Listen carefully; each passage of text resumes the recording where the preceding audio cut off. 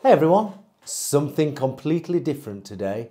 Welcome to the channel, welcome to BP. Let's roll the intro.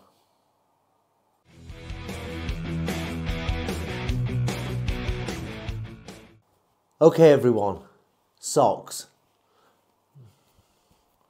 I know it's getting very, very cold outside and your feet are probably a little cold if you're still riding in the winter. I went and bought these socks from Marks and Spencer's and inside the boots my feet are much better. So if you're thinking about buying some socks, you may well want to buy some of these and try them out. You get two pairs for £16 and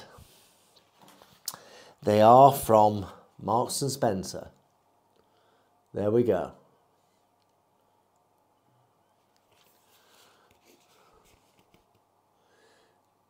Two pairs, £16.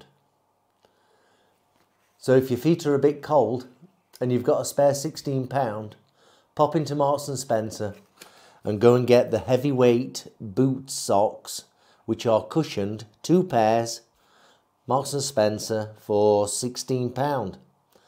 There you go. Hope you found this useful. See you very soon. Ride safely, be kind to everyone. See you soon. Bye bye.